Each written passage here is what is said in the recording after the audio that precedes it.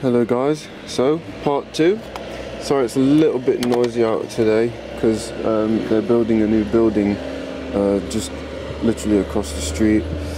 Uh, but yeah, so here right now you can see pretty much what I've done already. Um, so the main inlet manifold is off. Uh, some some uh, injection uh, injector cables there. um, yeah, so the main uh, the the main bulk of the work is done. Um, I removed all of the um, there's a pipe there. This one here. Uh, remove the bolts from that and uh, the uh, valve that sits on the back of the cylinder here and also the exhaust bolts there um, but obviously with this uh, head I can't get to the exhaust manifold bolts which are down there. So I'll leave this on and uh, bring the whole thing up all at once. Um, but the tool the tool came today uh, for removing the head bolts. Uh, if if you really want to know what tool this is it's a M10 M10 you can't really see it because of the sun it's M10 um, and it's star shaped um, but because of its uh, its length uh, I have to remove the cams which is a bit annoying. Um, I didn't really want to have to do that. But nevertheless it has to be done now so I have to do that. I'll show you down here down in the the problematic port. No you can't really see much. Um, yeah. So you can just see hold on let the camera focus. There we go. See the it's damaged right here. You can see it just on the camera. You can see bits of metal everywhere. Um, can't see in the cylinder right now obviously but that's what it looks like from the outside um, when I've got the head off I'll show you what it looks like on the inside.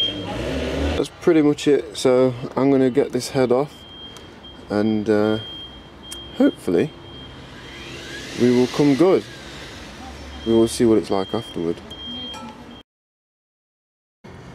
Alright ladies and gents so we can see the issue here. Uh, don't mind the uh, water in the cylinders that's because I lifted the um, lifted the head off and tons of water came out. Anyway so let's have a look here. What do we have? We have a two valves which I pushed out by mistake but look at that. Bent. And we have another valve here which is the exhaust valve and it's completely destroyed. Weighs a ton though. It's quite heavy for a little valve. Um, and uh, absolutely battered piston. So uh, we can see here there is a bit of scoring on the wall here gouging. I don't know what it's like on this side. Maybe it's the same also I'm hoping I'll be able to it is really flipping big. Mm.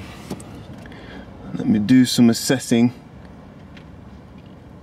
Do some assessing maybe. Might be able to get away with a hone. It looks awfully bad though. Um, if I'm honest. Ah, it'll be alright I'm sure we can fix it. Let me take this gasket off this gasket's been on this the whole entire life of the car would you believe that oh it's stuck on this peg oh there we go Alright. Mmm. So I can give this a clean. Put the new piston in. It does look awfully bad. I'm going to do some cleaning and assessing and blah blah blah blah. And then we'll see Wagwan whether Man and Mans can fix this or what. I'm hoping though, because this has cost a lot of money, you know.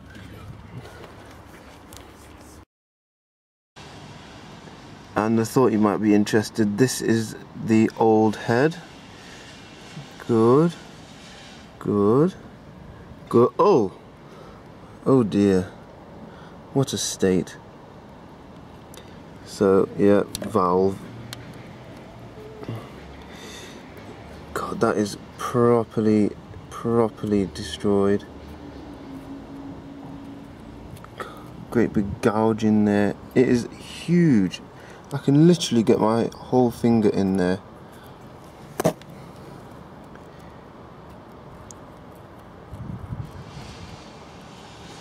It's an absolute mess. State of that.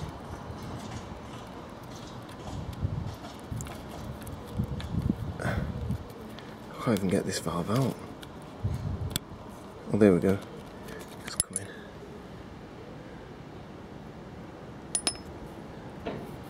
There's the other one there, and there. Mmm. So I have to take the exhaust off of this one, put it on the new one. But before I can do any of that, um, I need to wait for my honing tool. Um, hopefully I can get this honed. Um, we'll see.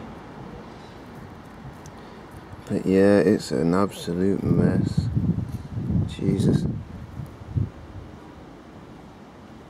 Alright. What it is.